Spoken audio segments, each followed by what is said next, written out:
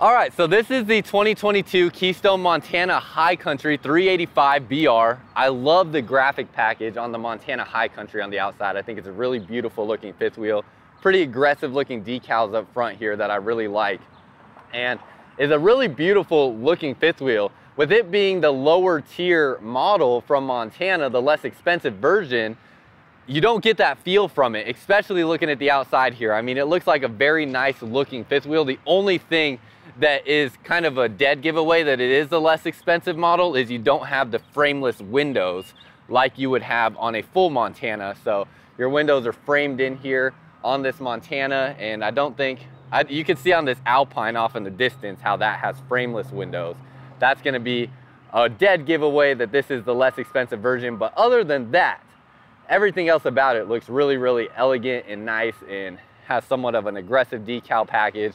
Really like the color scheme of it. It's a almost like a cream colored white with the blue decals and the black accents in there and everything. Looks really pretty.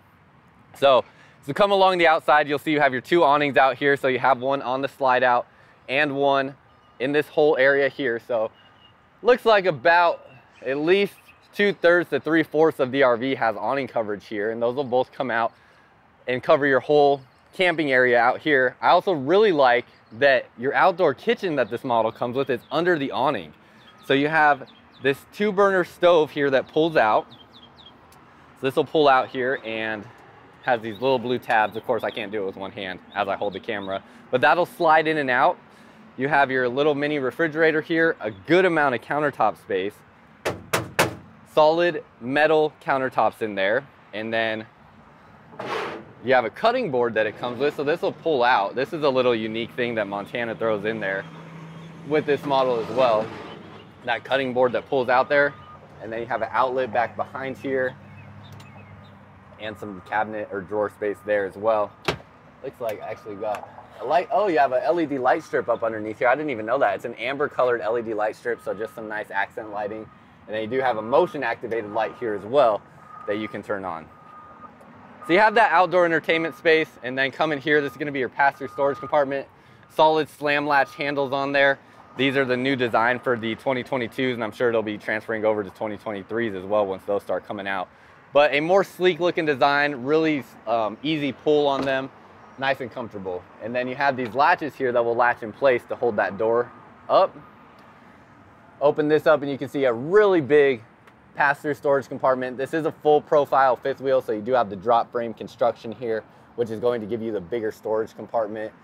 You have aluminum framing all the way throughout, and all of your aluminum framing is welded on both sides of the frame, and then you also have a wrapped floor up here as well. So everything on the flooring there is wrapped. You can install a TV out here if you want to as well, so your plugs for a TV will be right there. You could put a mount right here on the wall that would allow the TV to sit sideways like that and it would slide out and then pivot out. That's something you can do. And then this has a 400 watt solar package on it. So these outlets that say inverted, those are gonna be able to get power from your solar panels with that 400 watt solar system there when you have an inverter that allows that to transfer that power from the battery to the 110 to power those outlets. So you can see when you come over here, you have the 400 watt solar system there. So we'll get up on the roof and take a look at those solar panels here in a second. A really big pass-through storage compartment. Then we're gonna open this up. You got your 30 pound propane bottle in here as well, and you'll have another one on the other side. To come around the front, a couple things to mention up here. First of all, you have your docking lights here, these little LED safety lights there that are the amber color. You can't really see them in the daytime, but and the dusk and night times you'll be able to see them. Then you have the patented hitch vision plate from Keystone. So if my hand here is your bed of the truck backing up, you'll be able to see as you back up how your truck bed is aligning with your pin box there, lining that up by yourself. And then this here looks like, it's either the Road Armor or the Curt pin box here. There's no branding on it, but they're both pretty much the exact same thing where you have this pivoting head here with a one inch thick, just about rubber bushing there. And as this rotates back and forth, that's going to absorb a lot of that chucking as you brake and accelerate, things like that. So that's gonna give you a more comfortable towing experience. And you also have a light right under here so you can see what you're doing in the nighttime as well. Coming down underneath here, open this up and you have a huge storage compartment down underneath here. Everything looks nice and organized. And then with the 400 watt solar package, you have this 30 amp solar charge controller. So this is the upgraded bigger solar charge controller than what comes with the 200 watt solar package from Keystone. So you have an upgraded solar charge controller, you have the inverter there that is also working with your residential refrigerator. And then you have some battery disconnect switches down underneath here and a spot for your battery right there where your battery will plug in. Really cool thing about this solar package with the 400 watt system, there is no battery hooked up right now. We are literally plugged into no power sources whatsoever. And the solar alone allows me to get all the lights on, put the awnings out, stuff like that off that 400 watt solar package. So pretty cool that you're able to do that with that 400 watt system, not even needing to hook a battery up to the RV. Coming around to this side, you have three slides on this side. So this is gonna be your bedroom slide. This is your mid bunk slide. And then that is your living room slide there. You're gonna have the Schwintek slide mechanisms on both of these smaller slide outs, which are these kind of rack and pin style slides where you have um, the spot there and the spot there. I was trying to think of what exactly it would be called. It's um, just show you what it looks like because I'm blanking on what exactly that mechanism will be called there. But you have that on both corners, on both sides of the slide out. And then on this slide here, the bigger slide, you have the rack and pinion style slides down underneath here.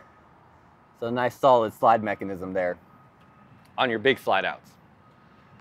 You're also going to have six point auto leveling on this fifth wheel. So you have the two legs up front, two more legs in front of the axles, and then two more legs behind the axles for six point auto leveling. Coming over here, you'll be able to see if it's unlocked. It might be locked possibly. Oh no, perfect. See your controls there for the auto leveling. And then your other 30 pound propane bottle, all of your instructions there for the auto leveling pretty cool little thing. Lippert just followed me on Instagram, so that was kind of cool. Um, I didn't expect that. I actually didn't even realize what their logo looked like when it popped up on Instagram, but they just followed me on Instagram, so that was kind of cool. Maybe uh, there'll be some kind of partnership with Lippert in the future. Who knows? But and then you'll open this up, and this will be, of course, might need two hands. Yep, need two hands to do that there. And pass-through storage access from the other side, and then you'll have all of your water access through here as well. So turn that light on. All of your water hookups will be in this area here, plus your pool valves for your black and gray tanks up front here. Also have hookups for satellite if satellite was something that you're wanting to do, and an additional solar plug. So if you wanted to hook up more solar on the side of the RV here, you can do that there as well. Outside shower, so you'll be able to hook up the 25 foot coil hose that this RV comes with right there, and everything else that you need for water hookups is all in that spot right there. I just realized we didn't look at the exact weight of this RV. I know I put the specs at the beginning, but the exact dry weight of this one is 13,680 pounds and you have a gross vehicle weight rating of 16,500 pounds there. So that's gonna be if you were to fully load this thing, but dry weight is 13,680 pounds exactly on this fifth wheel. So would most often recommend at least a three quarter ton for towing something like this, a um, 250 or 2500 diesel or up or something bigger than that to tow something this size. And as we come around this way, you're gonna see you have your dump valves right here. Oh, a couple of things to point out actually. You have a sewer storage, uh, sewer line storage compartment right there. So your sewage tubes you can stow right in there. And then you're gonna have your tanks dumps right here. So this is where you'll dump your, dump your tanks. And actually on this RV, being over 40 feet, that's actually the only spot where all of your dump tanks go to or where all of your tanks will be dumped from.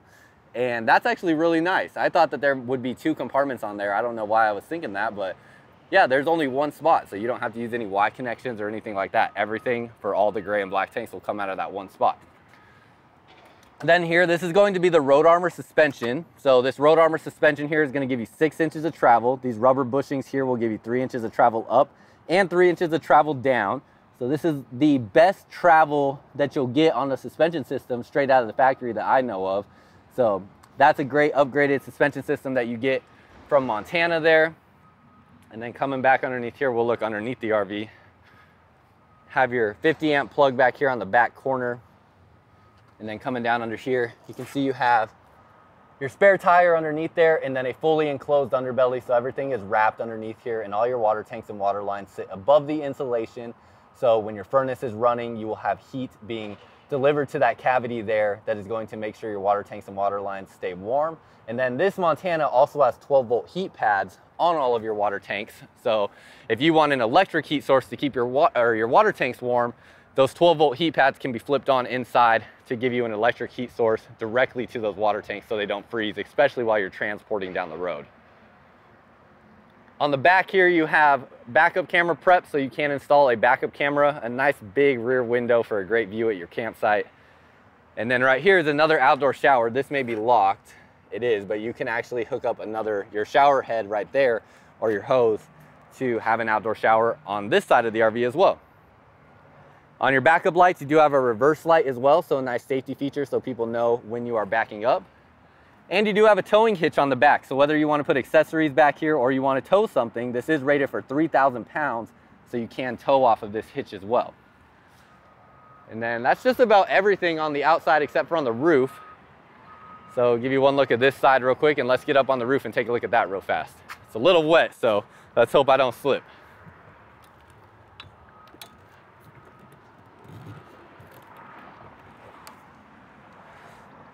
All right, as we get up here, I'm not gonna walk around it because it's all wet up here, but you do have a more textured roof here with this Alpha Flex roof membrane. So very textured, it's really not slippery, but yeah, white AC covers, so I love that, so it's not gonna absorb as much heat, which is gonna give you cooler air inside the RV.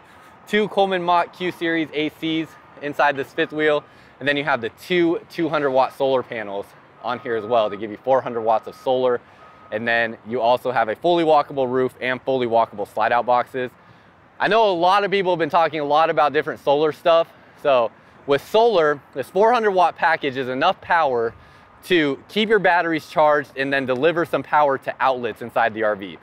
The way that solar works is solar basically is going to be what is charging your batteries. So the solar panels charge the batteries and then the batteries are going to be what power different things inside the RV. Now the batteries themselves power things like your awnings, your slide outs, your lights, stuff like that. The, little, the smaller stuff that doesn't take as much energy consumption. Then you have your 110 system, which that is going to be powering things like your ACs, your TV, your microwave, different stuff like that, the bigger stuff, your outlets. So what solar does, if you want to expand upon your solar package to power more things inside the RV, you need to get enough solar panels and enough battery capacity to have enough power stored up to power these bigger components, which means you're gonna need things like lithium batteries, you're gonna need more solar panels, and then you're gonna need an inverter so that it can take that battery power and invert it to 110 power to power these bigger components. So it can get pretty pricey to start wanting to power bigger things like your AC and stuff like that off of solar on the RV. And I just wanted to explain a little bit of how that works because I get questions about solar almost every single day right now. And it seems like there's a lot of confusion about exactly how solar works. And pretty much everybody that contacts me wanting solar wants to power their entire RV off of solar which costs about fifteen to twenty thousand dollars if you want to order the solar package. Sorry I'm going down the ladder as I do this but yeah, the solar package from Montana, the 1200 watt solar system that can power everything on the RV is about a $19,000 add-on. So, and it's an additional option you have to order. So just be aware of what that is. And in most instances, it's a little bit easier and definitely way less expensive to just get a generator if you're wanting to power the whole entire RV off of a source like that. But just wanted to go over some of those details real quick. You also have a propane quick connect line underneath here as well. So you can hook up this two burner stove there or whatever else you want outside here as well. And that is just about everything on the outside. As you can see, you have your outside speakers out here as well.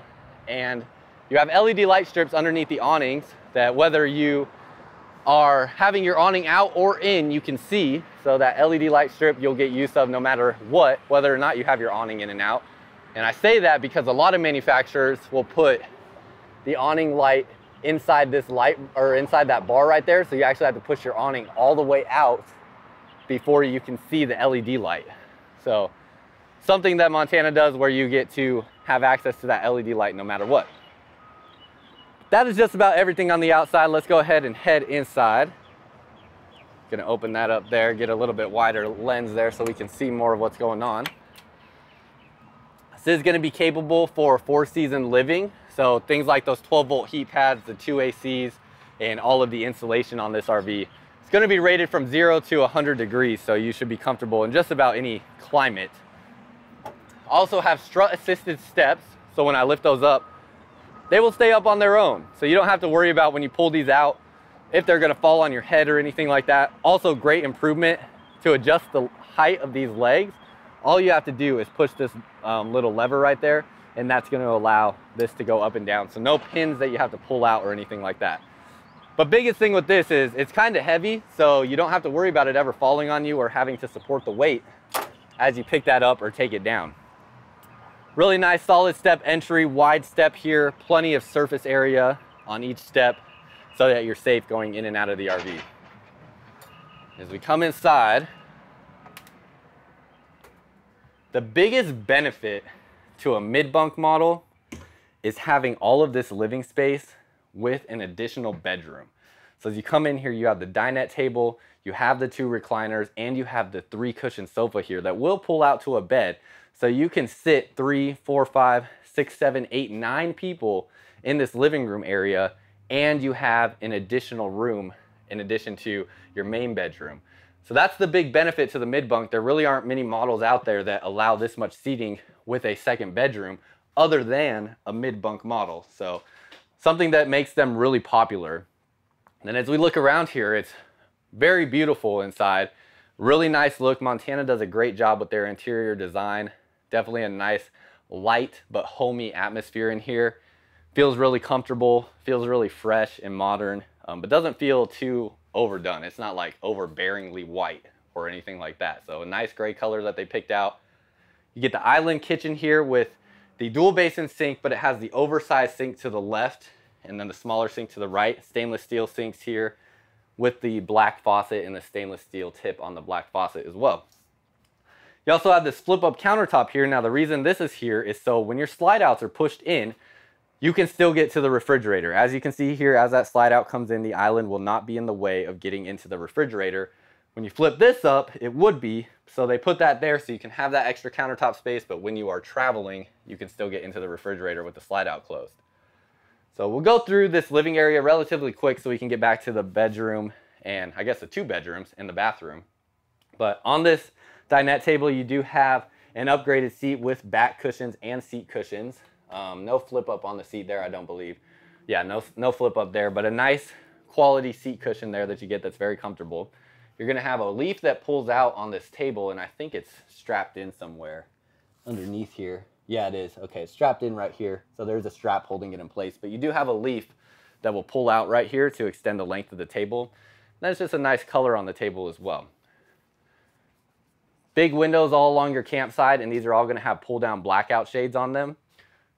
So when you pull these down, nice pull down blackout shade there so that you can black out all the light when you want to. You'll have your two recliners here that have the cup holders in the middle and a little storage compartment as well. And these are going to be power recliners. So you can see you have your power switches there to recline and retract. And you have your USB port there as well to charge. So you'll have that on both sides. It is the Thomas Payne collection furniture that you're used to seeing in most of your higher end fifth wheels as well. And in your slide out here, you have a dimmer switch, so you can dim these lights here. See as I move that dimmer switch down, how those lights go down and up. So you'll be able to dim those lights if you want a little bit different ambiance in here. Like I said, three cushion sofa will pull out to a bed. What I really like about the three cushion sofa though, is that it gives me enough space to lay down on here. So being about six one without my shoes on, I have enough space where my head can be on this headrest and my feet actually do not hit the he the uh, um, armrest. Sorry, I called that a headrest. I put my head on the armrest there and my feet do not hit this armrest there. So enough length there for quite a bit of space there.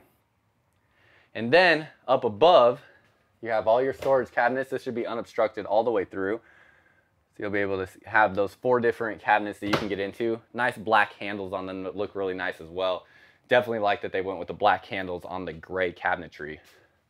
Now, as we're looking up here, we'll talk about the AC uh, system real quick because you do have a residential air filter in this AC system. So as you're out camping and you're in a dusty environment and stuff like that, it's going to filter out much more of the contaminants in the air like dead skin cells, uh, dust particles, all that different stuff. Whereas the little black foam pads that used to be the, the RV air filters, basically were only good for maybe pet hair. So that is a much higher grade filter to keep your air cleaner inside your RV. And then you have these blade vents here that push air out in a 360 degree motion. You can see this RV has ducting down both sides of the AC. So one duct coming out this way, one duct coming out this way. You can see that with these two vents up here. And both ACs are gonna be ducted together. And these blade vents here, these pushing air out in a 360 degree motion give you significantly more air coverage. They allow more air to flow out of them in general, so they're quieter because the bigger the openings there, the more quiet it's going to be. And that is going to help cool down your RVs up to 20% quicker because of the way that it pushes air out in a full 360 degree motion versus just a directional vent. So a very efficient system that you're getting there. Over here you have a nice big TV, you have your fireplace. Down here this will put out heat as well, so that will have a few different color options on it. I don't have this plugged into 110 power, so we can't get that on right now. But that'll have a few different color options on it. Nice hidden compartment back here with that tinted glass for your sound controls and if you wanted to hook up any additional devices there. And then, oh, didn't get that closed all the way. There we go. Cool. And then behind the TV, if I can get this out with one hand, you can see it does swivel, but you have a huge storage compartment back there. So a huge amount of space back there to store different things as well. And then up above here, you'll have a nice big deep storage compartment. Your speakers will be on both sides of your accessories or um, a, what is it called? Your electronics underneath here. So speakers on both sides of that. And then a nice finish here around the fireplace as well. You have your heat vents ducted through the flooring here. So this is going to give you the most efficient heating system where you're just getting a straight line duct that runs through the flooring. So there's no bends or anything in any of the ducting lines that heat has to flow through. So this is going to be your most efficient system by far.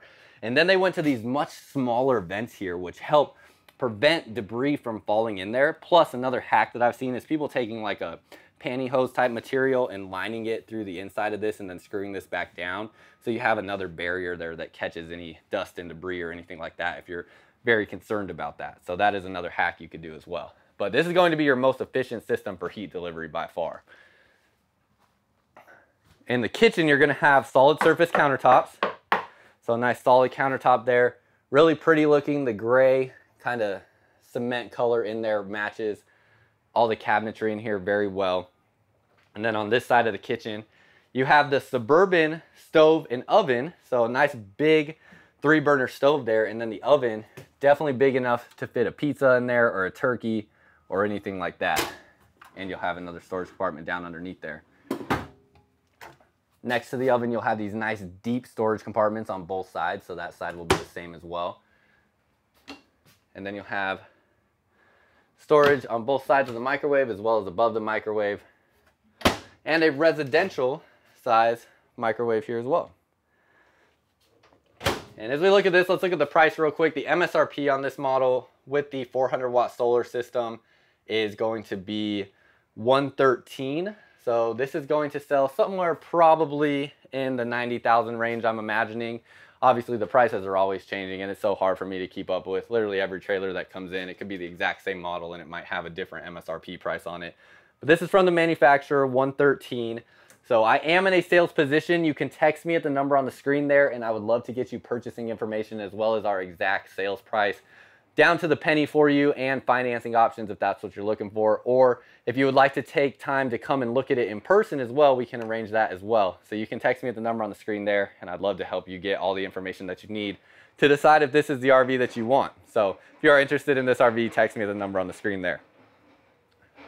Now going to the island, you're going to have four drawers that pull out here. These straps inside here are to strap down your dinette chairs and then you'll also have this here to keep your refrigerator door closed while you're in transit. I think I forgot to turn on the LED light underneath the island. You have an LED light underneath the island. I totally forgot to even turn on. So nice additional lighting there. You also have the same color LED light up above your light fixture in the kitchen as well. And the ceiling fan, which I should have just turned on because it's kind of warm in here. So you'll have those four drawers though, and then you'll have this spot that opens up underneath the sink where you have your um, trash can underneath there, and then you also have two sink covers that are the same solid material as the countertop. Outlets on both sides of the stove, so that's very important, having outlets on both sides there so you can plug plenty of things in. And then on the island, again, we talked about how this flips up right here. If I can get it to lock with one hand. Of course I can't. There we go. Okay. Got that to lock. So you have that flip up countertop space. And then you also have outlets on both sides of the island. So lots of outlets in this kitchen. Definitely impressed with that. And let's see, to get this to detach, I don't think I can do it with one hand. So I'm just gonna have to come back to that. Right here, another little accessory area. See, I got my sunglasses there. Have an outlet up in the cabinet here for this area. So this could be like a coffee station area. Outlet up here as well. This kitchen has more outlets than the kitchen that I just bought in my new home. So pretty impressed by the amount of outlets. I literally kid you not, there's more outlets in this kitchen in this RV than there are in my home. So pretty impressed with that. Lots of storage up there. Two drawers that pull out there. And cabinet storage underneath there. Finally, you're gonna have your pantry. I guess I shouldn't say finally because we also gotta look at the fridge, but your pantry in here. It's not the deepest pantry ever. It does have motion activated light when you reach your hand in there, but you have your mid bunk behind this wall there. So it is a bit shallower, but you still have a good amount of shelf space there as you can see. And then finally open up the refrigerator. This just got in, so they haven't even put all the shelves in place and whatnot yet, but I did want to show you have water inside here, so you do have a water dispenser. And then open this up in the freezer You'll have your two-tier system here with the ice maker as well. Finally, the last thing I want to talk about out here is your slide out underneath here. This is like a um, PVC plastic kind of feeling woven material. So very durable, very strong, but also very flexible. So nice carpeting that you have there that's not going to get dirty like carpet would and you can just broom a lot of the debris off of there like you would a hard floor. And then you have a wrapped subflooring underneath here. And underneath this wrap part there, you can see the indention there. That is because there's a layer of astrofoil insulation in there as well. So you have a wrap subflooring to keep it protected. Um, just every little bit of measure that they can take to keep your flooring protected underneath there, they do. There are a lot of brands out there where you lift up the carpeting here in the slide out and it is just exposed wood. So nice to know that Keystone does this in pretty much all of their slide out floors where they have it wrapped and insulated underneath there. So I wanted to point that out. You also have Dynaspan one-piece flooring here, so no seams in any of the subflooring underneath here. It is a marine grade flooring, so it is completely water resistant and water, if exposed to it, would just beat up on that surface and it is one piece underneath there, so there's no seams where you would feel as you're walking around. So it comes with a 25 year warranty and Keystone has never had a warranty claim on it. So a really great flooring that you got underneath there as well. AC controls, air vent, fan controls there as well. I should have showed that right up above your cooking space right there. Plus you have a fan there that will vent outside of the RV as well from the microwave. Now here we're getting into the mid bunk area. So as we go inside here, you'll have the entry into in from the hallway. You have this two cushion sofa with a nice big window in here in the slide out. So this can make out into a bed. And then you have a really nice organized space here with storage, a little desk space if you want a desk there. If you have kids that you're wanting to travel on the road full time with and need a spot to do schoolwork and whatnot, great space there for that. Plus this can also double as their bedroom. And then you open these up and really deep storage throughout all of your compartments here. Plenty of storage space for different school supplies or clothing or whatever it may be that you want to put in there. Lots of wall space for decor here. You have your um, USB ports there, a little table side space right here next to the sofa. And then these are AC returns, so those are going to be returns for the AC. Of course, you do have vents in here for the AC as well, so you'll have the vent in the corner right there, and then you have your heat vent as well. And you'll have two outlets in the desk space here with hookups for a TV if you wanted to hook up a satellite as well. And you have this pull-out drawer in the desk. So nice functional space there for a lot of applications for how people use RVs nowadays. And then coming out into the hallway, you're going to have all of your controls for the RV right here. Your 12 volt heat pads for the water tanks are there. Ceiling fan control is right here. Turning on and off your inverter here. And then all of your tank levels, all your um, water heater controls, all your lights, your slides, your slide outs, your awnings, things like that. Additional storage in this space. Motion activated light as you're walking through the hallway there. And then you're gonna have your um, breakers and fuses underneath here. Central vac system, so you will have a central vac on this Montana High Country. So it will come with a hose that reaches the entire interior length of this RV that can hook up right there for your central vac. You have a um, safety handle here as you're going up these steps. Ladder here that will pull out to get up to the loft. And you have this loft here for additional sleeping. So if you have smaller kids, this is a great space for them to sleep. Now I am about 6'1", 6'2", grown adult, 185 pounds. I absolutely could sleep in this space, but this is a smaller size loft.